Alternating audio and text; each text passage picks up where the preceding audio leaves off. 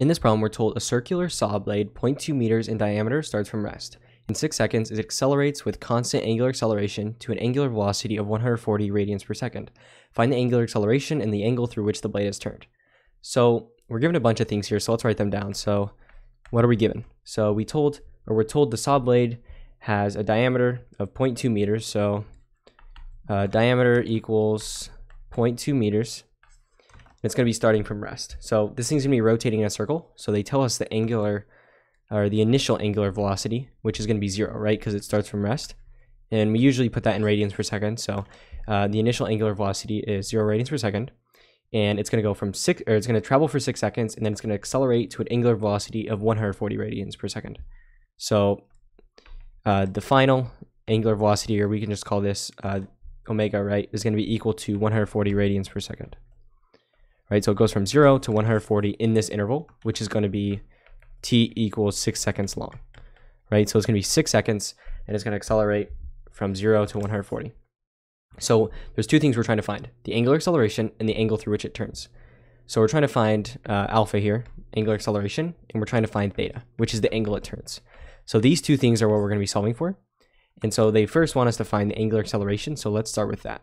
So how do we want to do that? So you want to think about these just like normal, uh, normal kinematic equations, but with rotational variables, right? And so which equation should we use? So you guys should know this equation, v equals v sub 0 plus a times t, but we can just do these with rotational. So omega equals omega 0 plus alpha times t, right? And so keep, keep in mind what we're given. We're trying to solve for a.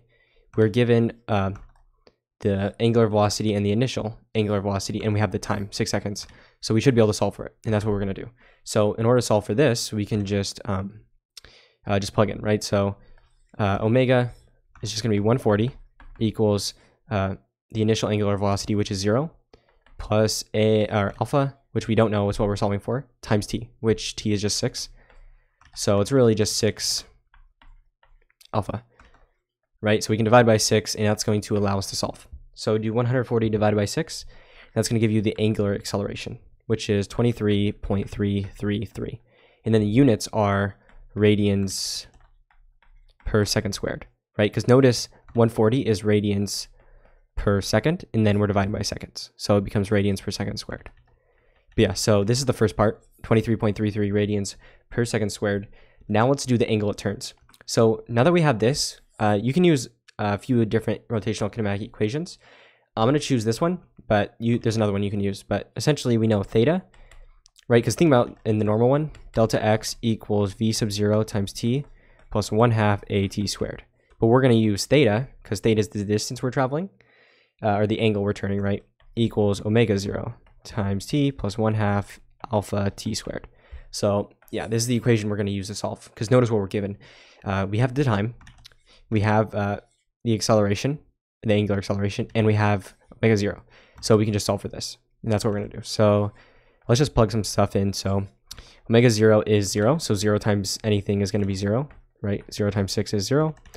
So it's just to be 1 half then times um, the angular acceleration, which we just solved for. So 23.333. And then we multiply by t squared. So that's to be t is 6, so 6 squared. Right? Yeah, so 6 squared, uh, you're going to do 36 times 23.333, uh, and then divide by 2, right? So just do 1 half times 23.333 times 6 squared. And when you do this, you're going to get 420. And so keep in mind the distance measurement or the angle measurement in these are radians, because this is in radians per second squared, right?